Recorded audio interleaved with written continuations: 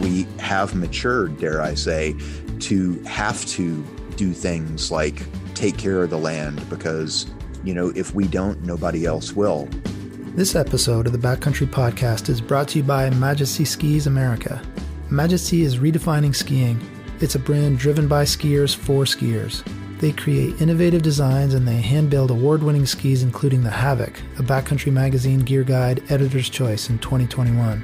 At Majesty, they consider versatility, lightness, performance, enhanced control, stability, and agility when designing every model.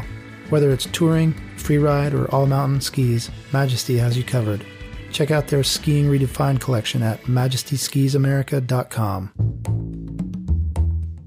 Welcome to the Backcountry Podcast. I'm Adam Howard. Today's guest is Winter Wildlands Alliance Executive Director Todd Walton. An outdoor industry veteran, Todd's career has taken him from the Pacific Northwest to the Rockies, working for brands like Outdoor Research, Crested Butte Mountain Resort, Snow Sports Industries of America, and the Outdoor Industry Association. No matter his job, he's never been far away from the backcountry terrain he now advocates for from his home in Boise, Idaho. Formed in 2000, Winter Wildlands Alliance was created by winter backcountry users seeking quiet recreation on federal lands, often overrun by snowmobiles. While it was once a small, grassroots nonprofit focusing on the mountains around Sun Valley, Winter Wildlands Alliance now leads advocacy efforts in nearly every western state, and it has partners in the Snowbelt nationwide. Todd and I caught up the day after the inauguration of President Joe Biden. Todd Walton from Winter Wildlands Alliance, welcome to the Backcountry Podcast. Thanks, Howie. It's great to be here. So it's it's interesting that we're talking today, the day after the inauguration, and I know anyone in any advocacy capacity in the country has been watching with uh, great interest what the uh, appointments would look like in the new Biden administration. Tell me what you guys have been paying attention to, what you what you think of some of the appointments that will be interfacing with your work.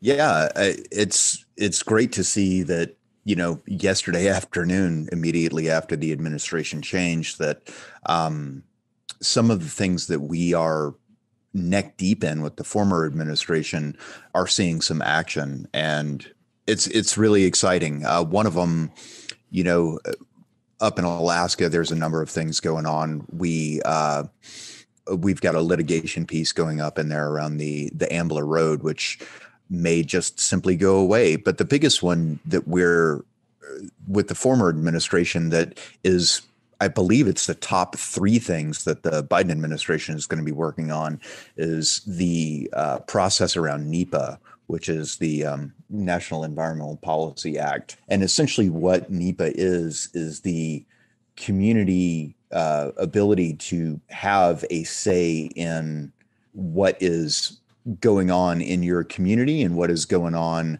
in in the world of of things like Forest Service planning. It gives the public a comment period to be engaged in what's happening. So a corporation can't just come in and drop a gold mine uh, into your backyard and, and put its tailings into the river. You know, back in the 70s when rivers were truly on fire, uh, the public stood up and said, hey, we need to have you know some comment and some input into this and the former administration really took it and and gutted a few pieces of it. But to see that in the top, you know, three things that this current administration, the Biden administration, is jumping straight into is pretty killer. So our uh, litigation in that may simply go away, which is super positive. You know, it does need a little bit of reform, but it gives us the opportunity to say, hey, what the public does need is a true comment period and, and the public needs to be engaged and we have that you know right uh, because whatever happens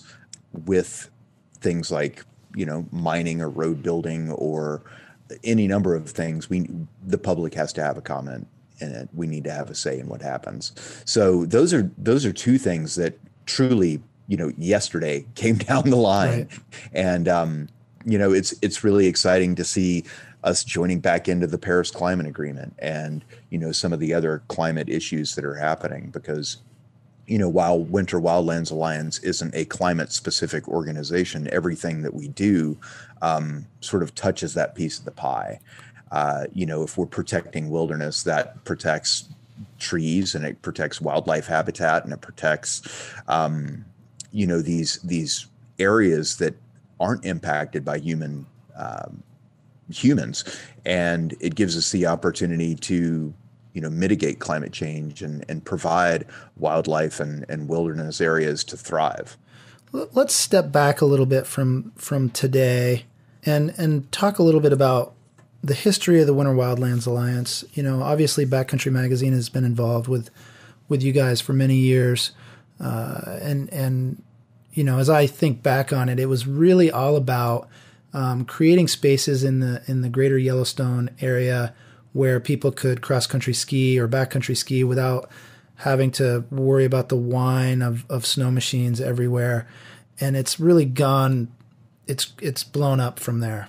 Uh, you guys mm-hmm. have all of this stuff happening, and certainly all over the West, in Alaska, um, partnerships out here in in the Northeast as well. Mm-hmm. How did how did the the alliance evolve from from that specific topic to covering these issues everywhere? That's a great question, and I'm glad you asked because we're celebrating our 20th year this year. This is our our 20th winter season. That's pretty exciting.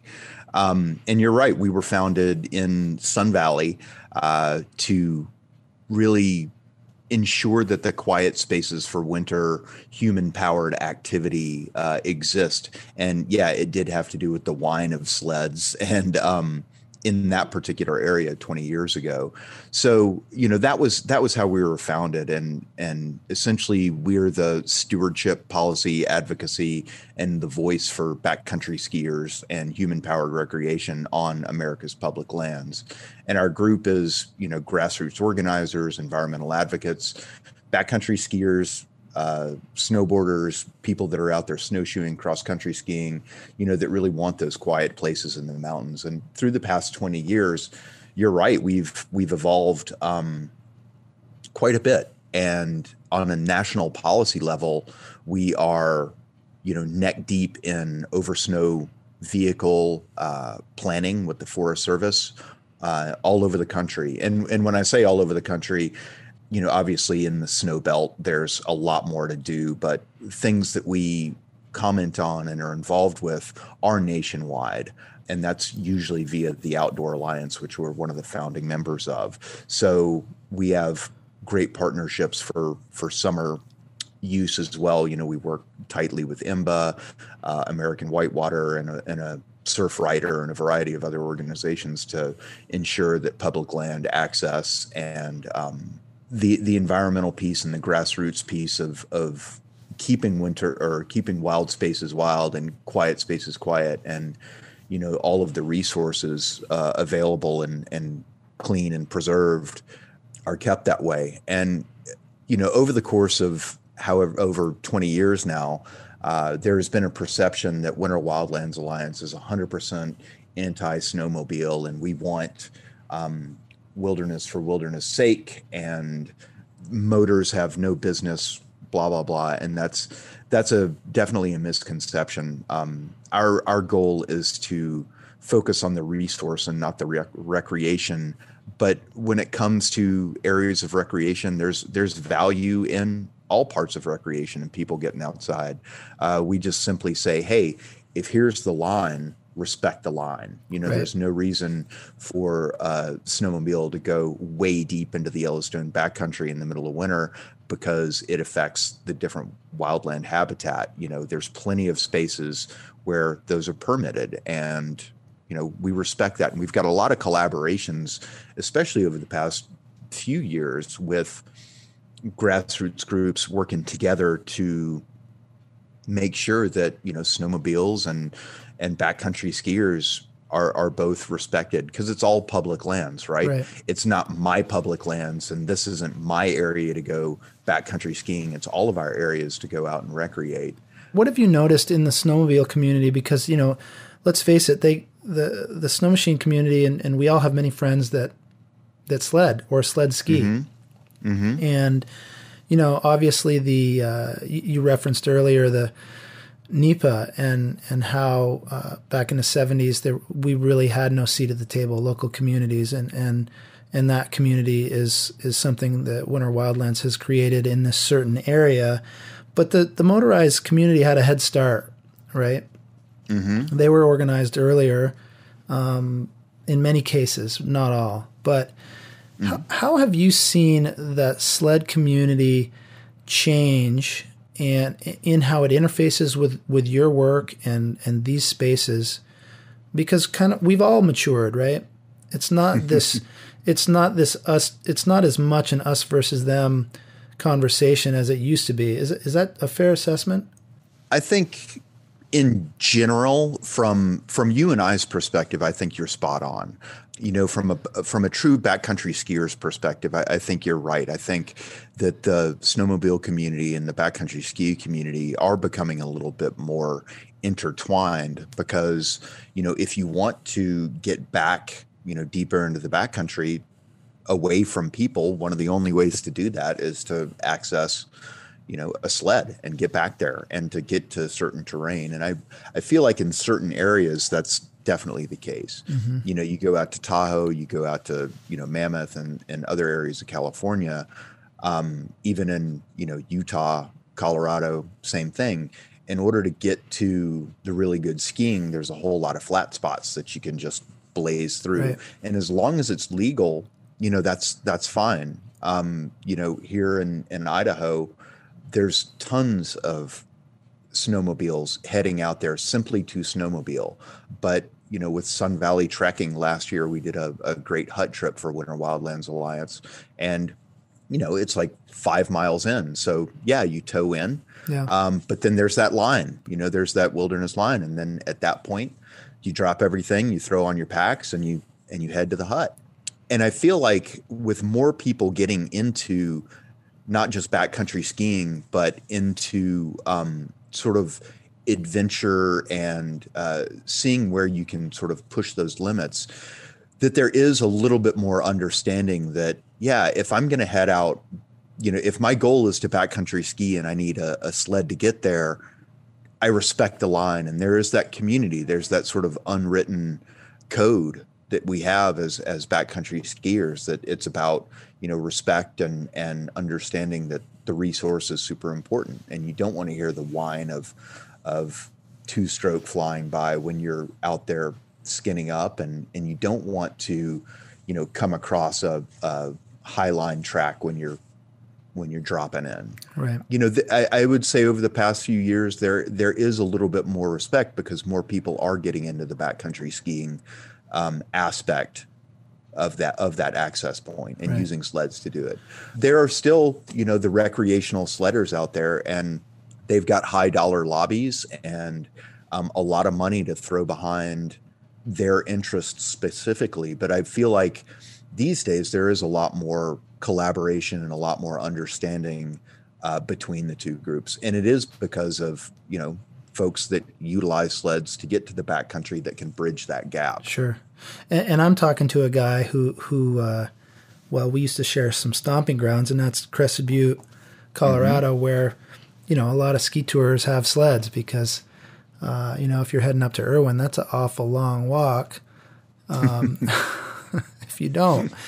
So so you get the culture, but let's talk about that for a second because this is kind of where you were most recently before you started with Winter Wildlands Alliance. Um, mm-hmm. How did how did you become interested in this work? How did you end up running this this show? Yeah, I've been in the outdoor slash ski industry for damn near thirty years now, and I started um, in retail and uh, was a mountain guide for a little bit. Worked in experiential education, and in '99 uh, I ended up stepping out of that and working for outdoor research up in Seattle. And that's really where I cut my, you know, backcountry skiing chops.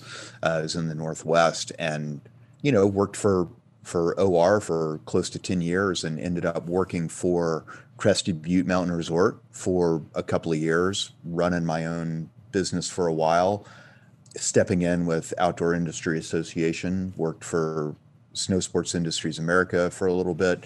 And when this opportunity came up, um, it was really sort of the culmination of all that experience to not just push more product and not just um, you know sell things and promote things on a PR and branding end, um, but to really you know it's the opportunity to dare I say mature and put your money where your mouth is and um, fight for the lands and, and the issues that come up to the places where we recreate and the places that you know are so meaningful not just to me personally but us as an industry that um, you know can't speak for themselves to sort of rip off a, a dr seuss yeah. uh, line there it's it's important for any of us as recreationalists to stand up for the places where we recreate and if you're a climber you know alpinist yeah access fund american alpine club um, if you're a mountain biker, IMBA. If you're a backcountry skier, snowshoer, cross country skier, get involved with Winter Wildlands Alliance because that's what we do.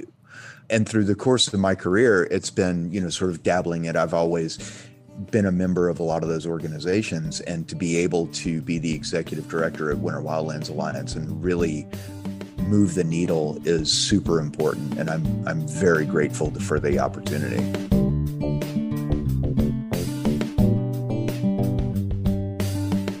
So, for those of us who have been in the outdoor industry for a long time, and, and I shudder to think that I'm now a veteran of that industry, but it's true.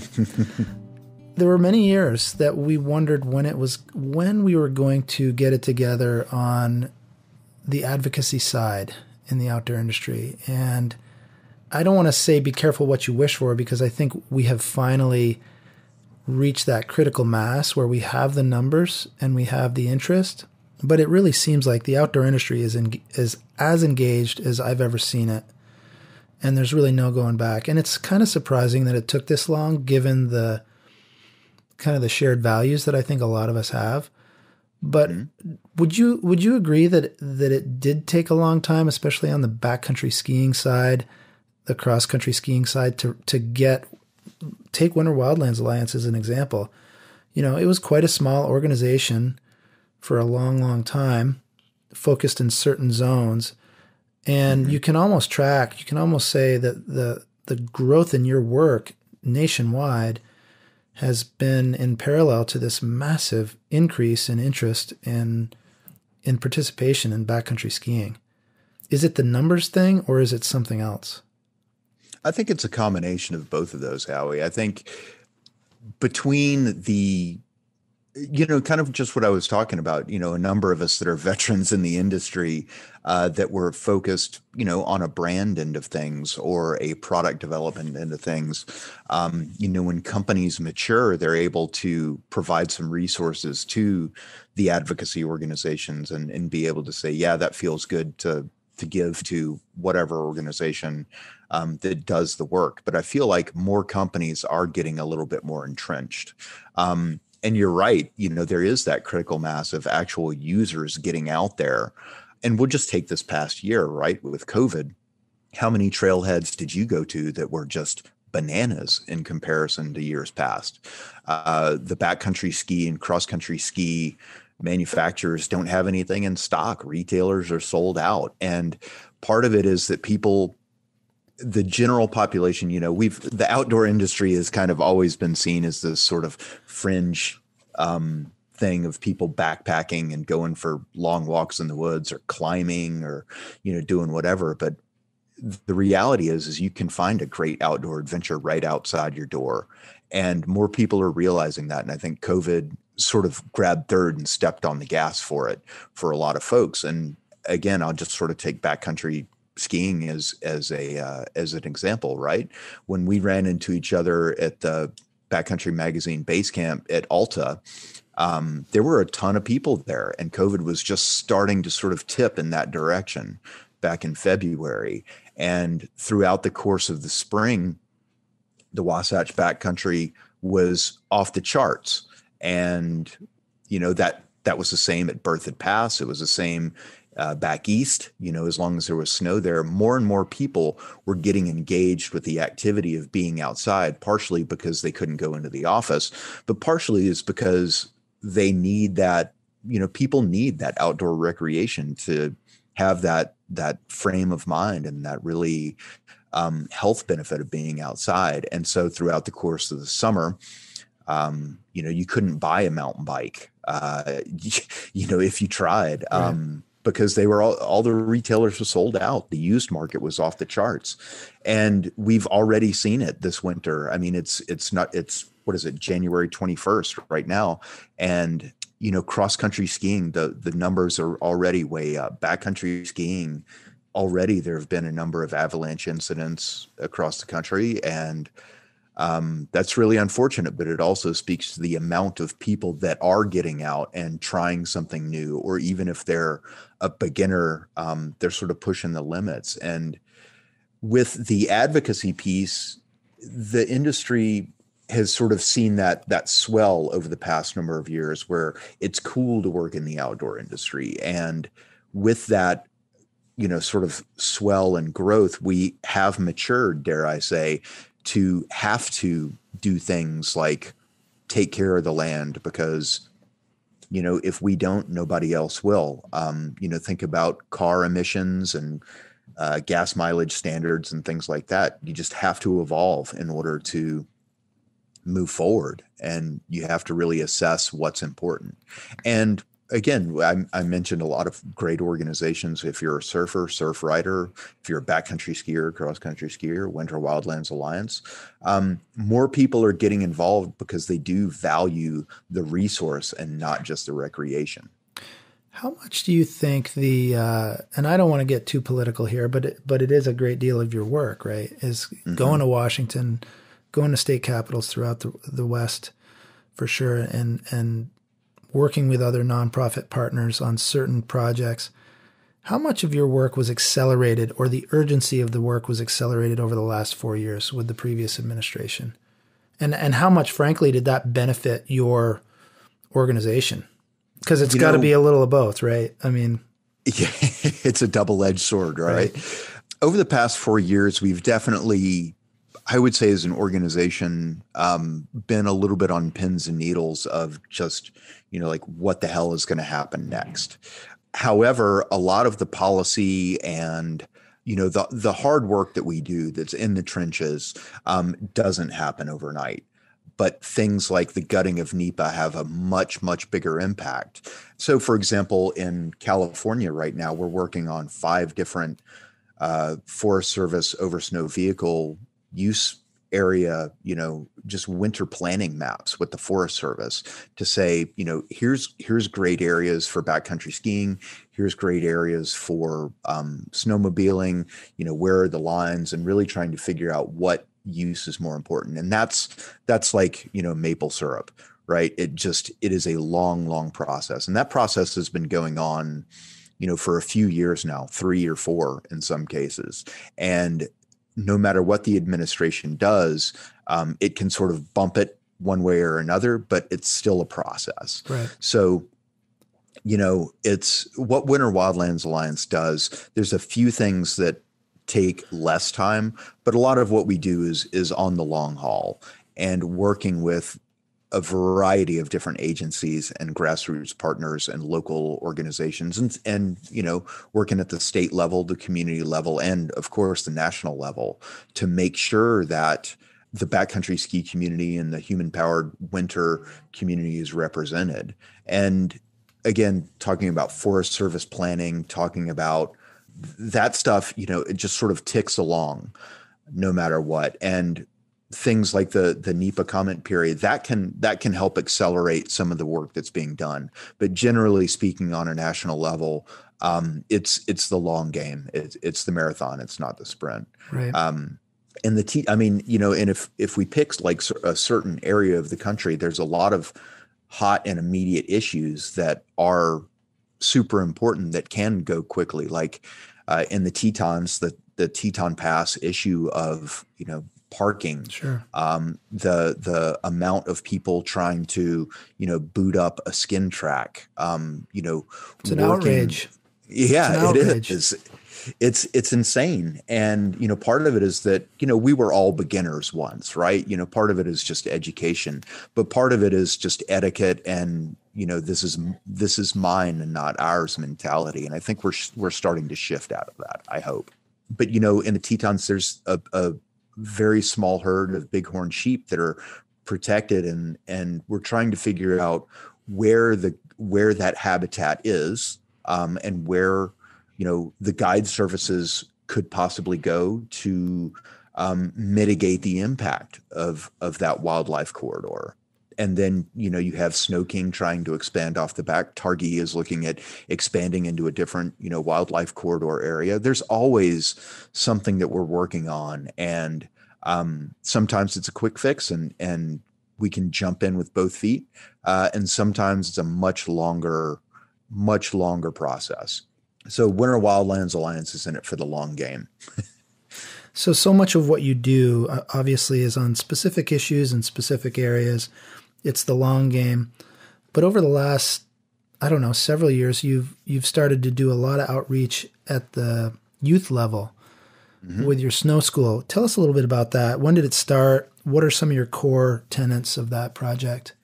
Snow School started about eight years ago, mm-hmm. and it was a uh, community program here in Boise at Bogus Basin, which is the local nonprofit community ski mountain. And it was a program around fifth and sixth graders where you know kind of like a, a, day trip. You'd go up and build an igloo and walk around on snowshoes and have a good positive winter experience. And through the course of that uh, our national snow school director kerry mcclay is just an incredible resource. He's got a, a phd in education so he is he builds the curriculum. And over the course of the past five or six years, he's built a K through 12 snow science program. Um, it's still, and, and we have ooh, 70 sites, physical sites all around the country.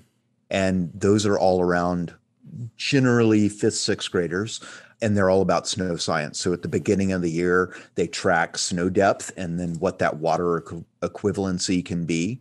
Uh, they look at snow crystals and and you know there's a lot of science behind just snow crystals and how they form. Um, but there's also a few pilot programs of the K through 12 level that Kerry has created and how that goes into the physics of erosion and you know it gets much much broader and also much simpler depending on the age group. And it's really been an amazing program that's growing. And uh, especially with covid and a lot of homeschool what we've done last year and this winter is offered snow school at home to pretty much anybody that wants to log onto the website. And you know if you've got snow in the backyard you can go get a cup of it and watch it melt and figure out what the snow water equivalency is. Um, there's a lot of great videos that we've got on on the website. And I think last year, uh, obviously, we were down because of the transition between you know actual on-site snow school, but we got 33,000 kids out learning about snow science uh, and participating in the snow school program. Uh, and our hope there is to grow it with the online resources to provide winter education and a positive, you know, fun cold weather experience for kids to get out and learn something too. Excellent. So if, if folks want to get involved, they just go to winterwildlands.org and and it's right there. Yep.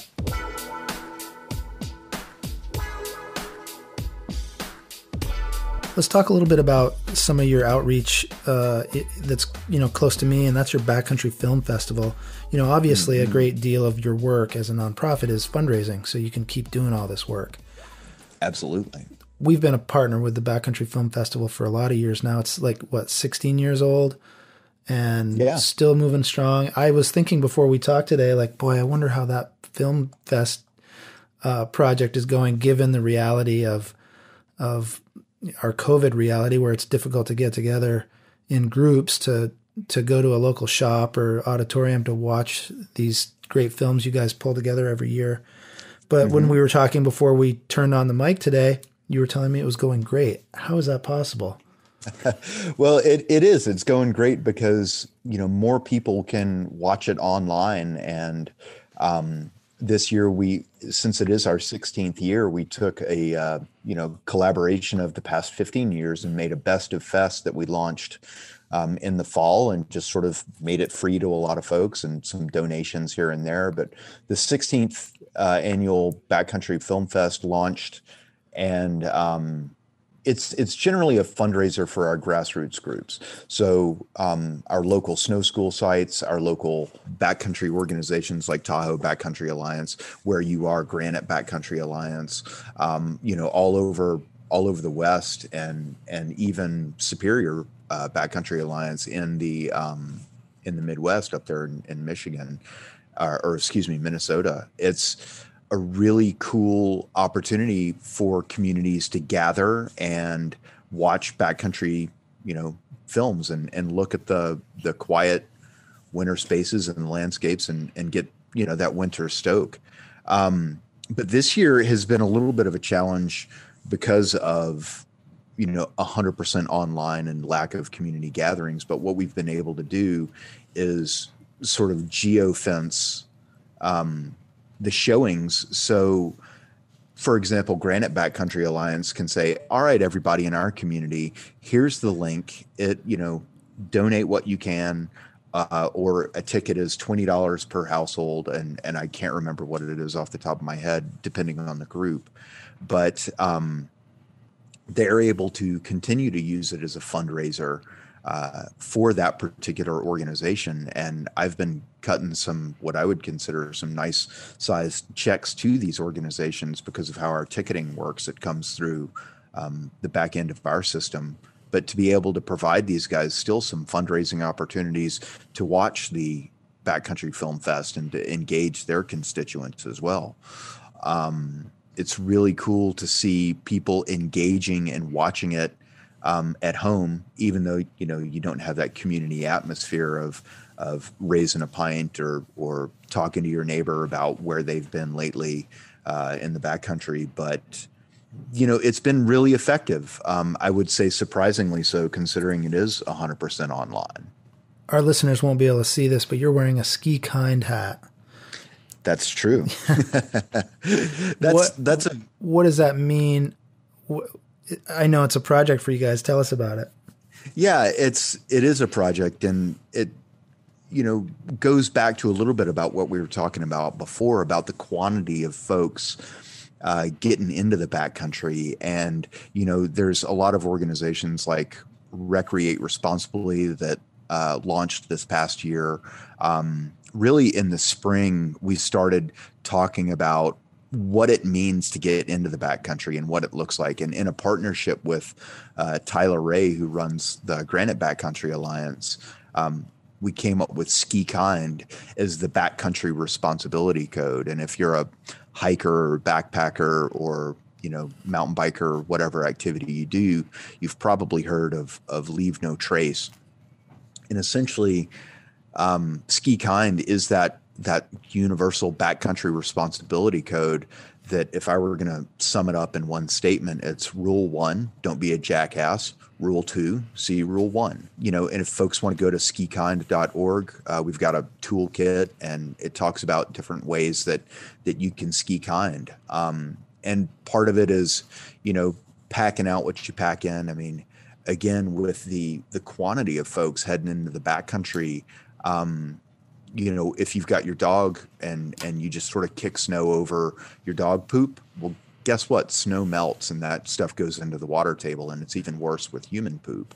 Um, you know, if a trailhead is closed due to COVID resource, you know, lack of resources uh, or whatever, um, you know, that means the trash isn't getting picked up. It means that you got to be a little bit more responsible for what you do. And so, you know, that also goes to being inclusive. Like I said before, where we're all beginners once, right?